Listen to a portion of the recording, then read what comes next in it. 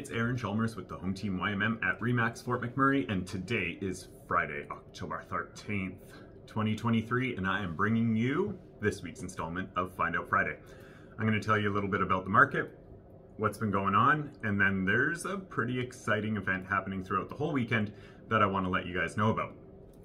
So let's start with market information. So I just want to go over what's happened over the last week. We've had 32 new homes hit the market.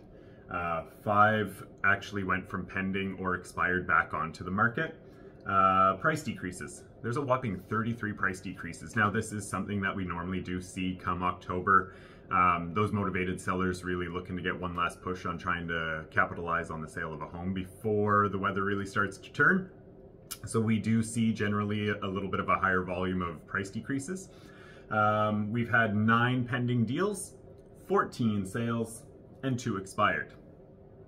Sorry, 15 expired, two terminated. They're kind of all the same thing. Uh, we also sit just under the 500 homes on market marker, which is uh, considerably higher than we actually want to be going into the fall market. So this is going to mean two things. Um, we see our trend still being that the sales are going to be at higher volumes under the 450,000 marker. Homes over 500,000 are going to take a little bit more time, um, again, to sell, unless you really have your home prepared. We're talking stage, paint, looking fantastic, move-in ready, and then also needing to realize again what your needs are as well. Are you moving out of Fort McMurray? Are you needing to purchase something? Are you moving into a rental, downsizing? All of these things have to be taken into consideration. But we still get, you know, another solid four weeks of real estate before we kind of fall into what uh, we're used to seeing in a slower market. All in all, um, you know, week after week, month after month, we're still kind of at a steady, I would say snail's pace. It is uh, still a soft buyer's market out there.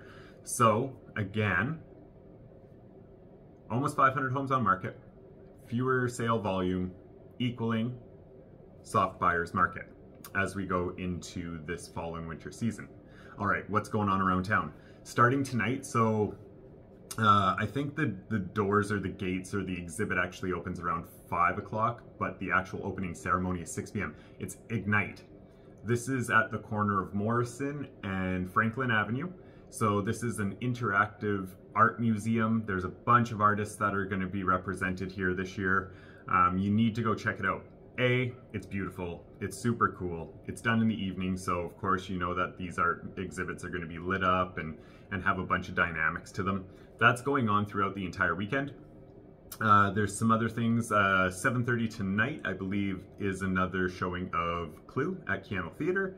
Um, and I mean, get out, it's supposed to be a beautiful weekend, and we don't have too many more of those where there's no snow on the ground. So thank you again for checking in and taking a moment to listen to me give you a little bit of an update here on the real estate market and what's going on around town.